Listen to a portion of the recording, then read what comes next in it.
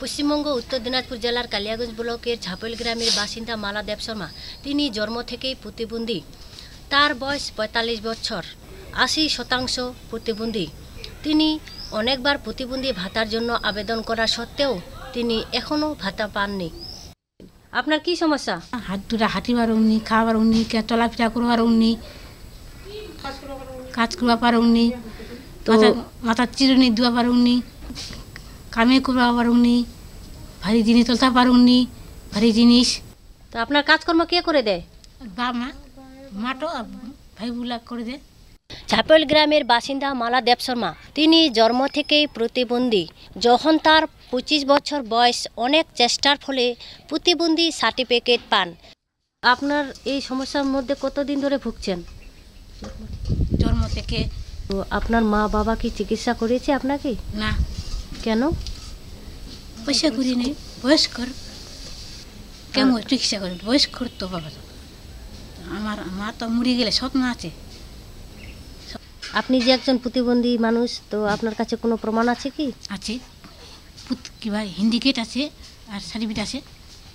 হিন্ডিকেট আর certificate তার বাবার চিন্তা তার অবর্তমানের এই প্রতিবন্ধীর মেয়েটির কি অবস্থা হবে? কারণ সংসারে তার বাবাই একমাত্র সম্বল যে তার সব কাজে সাহায্য করে। তার বাবা একান্ত অনুরোধ তার যেন প্রতিবন্ধী ভাতাটি তাড়াতাড়ি হয়ে যায়। তো এই সমস্যার জন্য কি কোথাও আপনি আবেদন করেছেন? হ্যাঁ। কোথায়? বিডিও বেশি ওনারা কি বলেছে? ওতে পাবু পাবু করছে। কত বছর হলো আবেদন করা? ছয় বছর না সাত বছর হইল ছয় সাত বছর। তো আপনি কি চান?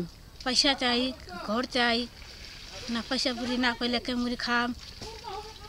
এই বিষয় নিয়ে আমি গত দু হাজার আঠারো সালে জানুয়ারি মাসের চার তারিখে প্রধানের কাছে মালাদেব শর্মাকে নিয়ে যাই এবং তার প্রতিবন্ধীর ভাতার যাতে করে দেন সে কথা বলি এবং প্রধান তার সমস্যার কথা শুনে বলেছেন চেষ্টা করবে। আমি তেরো সাল থেকে এখানে আসছি, তো তারপরে আমার ওই ধরনের কোনো মানে হ্যান্ডিকেটের ওই কাগজপত্র আসেনি বা আমি ওগুলো মানে ইয়ে নাই। আসলে হয়তো নিশ্চয়ই কিছু ব্যবস্থা করে দিতাম।